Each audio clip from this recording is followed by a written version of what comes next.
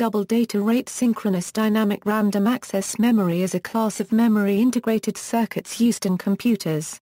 DDR-SDRAM, also called DDR1-SDRAM, has been superseded by DDR2-SDRAM and DDR3-SDRAM.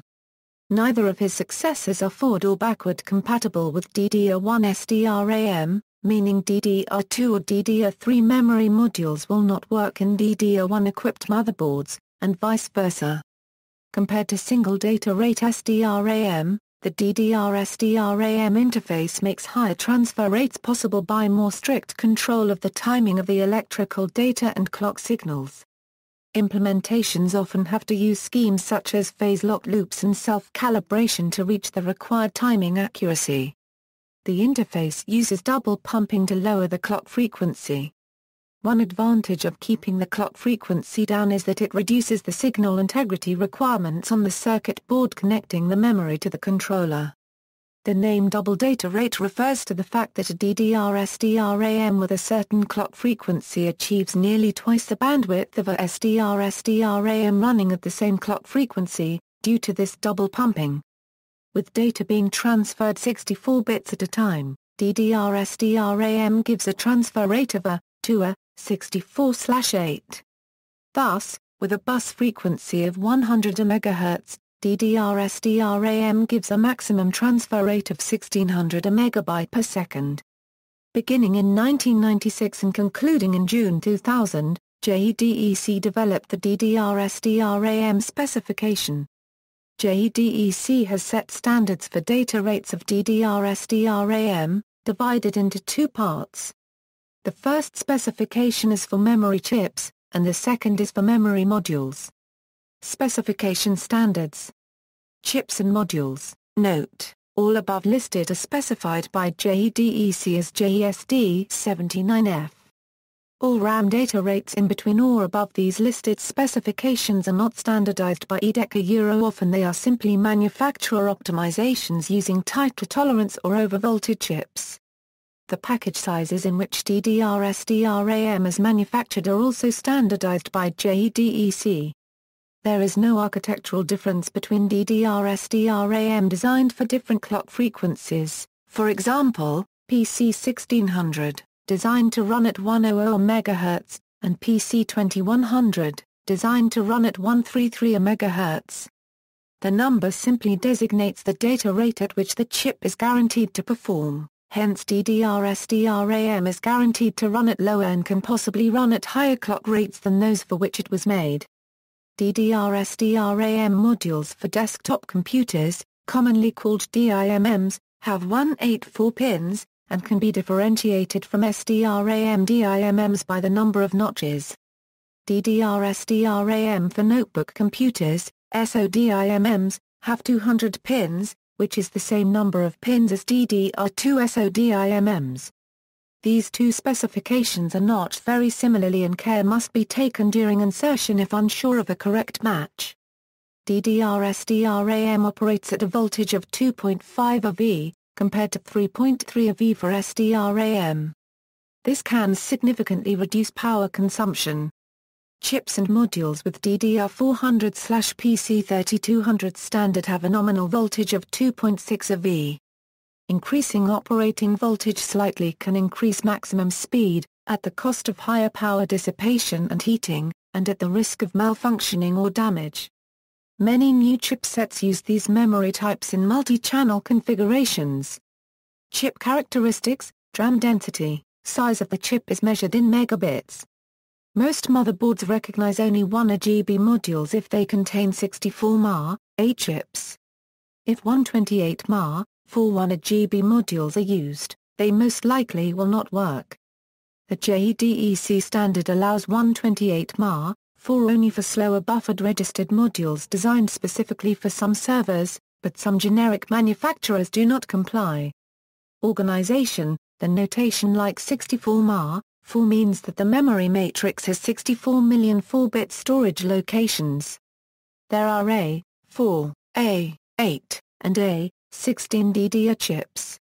The A, 4 chips allow the use of advanced error correction features like chip kill memory scrubbing and Intel SDDC in server environments, while the A8 and A16 chips are somewhat less expensive. X8 chips are mainly used in desktops notebooks but are making entry into the server market. There are normally four banks and only one row can be active in each bank. Module characteristics, ranks, to increase memory capacity and bandwidth, chips are combined on a module. For instance, the 64-bit data bus for DIMM requires eight 8-bit chips, addressed in parallel. Multiple chips with the common address lines are called a memory rank. The term was introduced to avoid confusion with chip internal rows and banks. A memory module may bear more than one rank. The term sides would also be confusing because it incorrectly suggests the physical placement of chips on the module. All ranks are connected to the same memory bus. The chip select signal is used to issue commands to specific rank. Adding modules to the single memory bus creates additional electrical load on its drivers.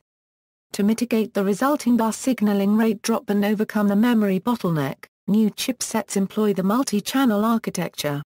Capacity, number of DRAM devices, the number of chips is a multiple of 8 for non-ECC modules and a multiple of 9 for ECC modules. Chips can occupy one side or both sides of the module. The maximum number of chips per DDR module is 36 for ECC and 32 for non-ECC. ECC versus non-ECC, modules that have error-correcting code are labeled as ECC. Modules without error-correcting code are labeled non-ECC.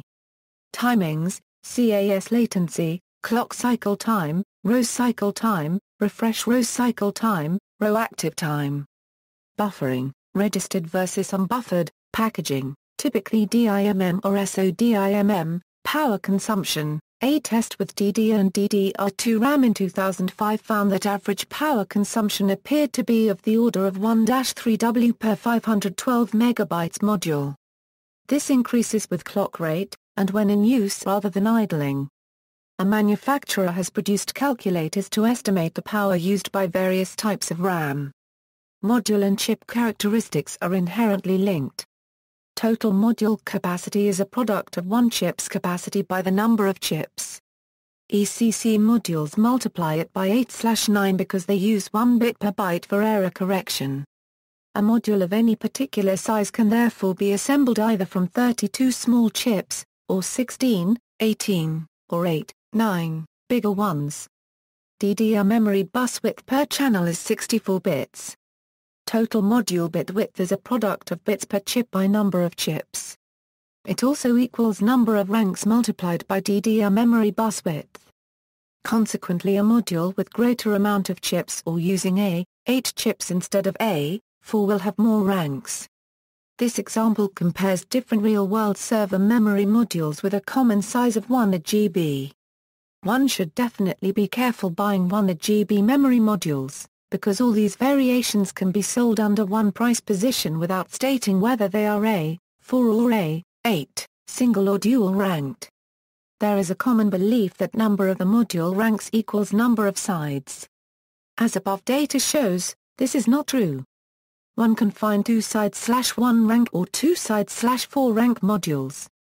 One can even think of a one side slash two rank memory module having 16, 18, chips on single side A, 8 each, but it's unlikely such a module was ever produced. History, Double Data Rate SDRAM Specification, from JEDEC Board Ballot JCB 99-70, and modified by numerous other board ballots, formulated under the cognizance of Committee JC 42.3 on DRAM parametrics. Standard Number 79 Revision Log, Release 1, June 2000, Release 2, May 2002, Release C, March 2003 a JEDEC Standard Number 79C. This comprehensive standard defines all required aspects of 64 MB through 1 GB DDR SDRAMs with X4X16 data interfaces, including features, functionality, AC and DC parametrics, packages and pin assignments. This scope will subsequently be expanded to formally apply to X32 devices, and higher density devices as well. Organization PC3200 is DDR SDRAM designed to operate at 200 MHz using DDR400 chips with a bandwidth of 3200 MB per second. Because PC3200 memory transfers data on both the rising and falling clock edges, its effective clock rate is 400 MHz. 1 GB PC3200 non-ECC modules are usually made with 16 512 UMBit chips, 8 down each side slash equals 1024 MB. The individual chips making up a 1 GB memory module are usually organized with 64 M bits and a data width of 8 bits for each chip, commonly expressed as 64 MA, 8. Memory manufactured in this way is low-density RAM and will usually be compatible with any motherboard specifying PC3200 DDR400 memory. High-density RAM in the context of the 1 GB non-ECC PC3200 SDRAM module, there is very little visually to differentiate low density from high-density RAM. High-density DDR-RAM modules will, like their low-density counterparts, usually be double-sided with 8 512 UMBit chips per side.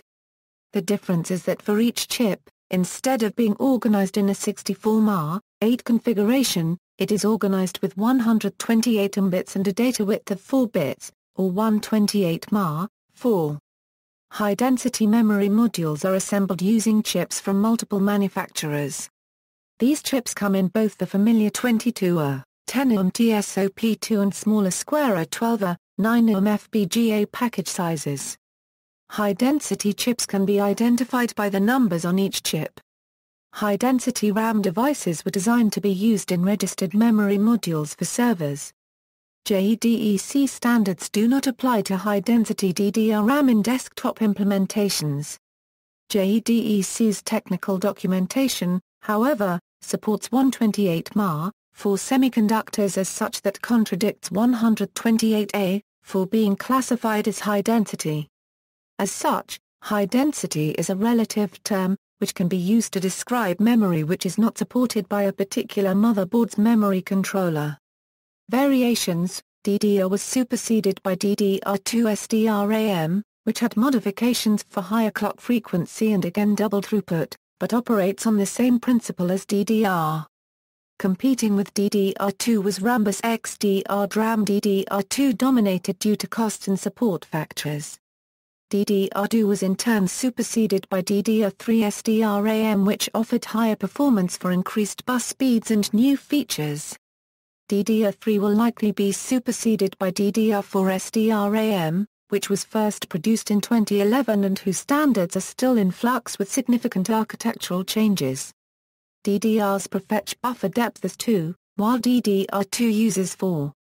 Although the effective clock rates of DDR2 are higher than DDR, the overall performance was no greater in the early implementations, primarily due to the high latencies of the first DDR2 modules. DDR2 started to be effective by the end of 2004, as modules with lower latencies became available. Memory manufacturer stated that it was impractical to mass-produce DDR1 memory with effective transfer rates in excess of 400 MHz due to internal speed limitations. DDR2 picks up where DDR1 leaves off, utilizing internal clock rates similar to DDR1, but is available at effective transfer rates of 400 MHz and higher. DDR3 advances extended the ability to preserve internal clock rates while providing higher effective transfer rates by again doubling the prefetch depth. RDRAM was a particularly expensive alternative to DDR-SDRAM, and most manufacturers dropped its support from their chipsets. DDR1 memory's prices substantially increased since Q2 2008 while DDR2 prices declined. In January 2009, 1 GB DDR1 was 2 euro 3 times more expensive than 1 GB DDR2. High-density DDR-RAM will suit about 10% of PC motherboards on the market while low density will suit almost all motherboards on the PC desktop market. MDDR MDDR is an acronym that some enterprises use for mobile DDR SDRAM, a type of memory used in some portable electronic devices, like mobile phones, handhelds, and digital audio players. Through techniques including reduced voltage supply and advanced refresh options, mobile DDR can achieve greater power efficiency. See also, Serial Presence Detect, Fully Buffered DIMM, List of device bandwidths, references. External links, official JEDEC website.